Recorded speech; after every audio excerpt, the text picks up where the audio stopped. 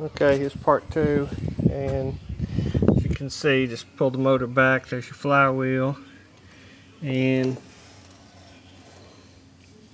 your uh, input shaft to the transmission. Your spline is out of clutch and free. Now on this one, went ahead and took the exhaust off for clearance because it was bad anyway, and you know to get that angle right getting their ass into the car up. Little trick I use, go to the front, jack the front end up, help it get that angle. And, uh,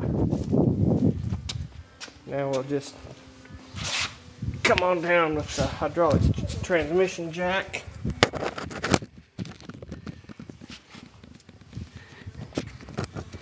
And out.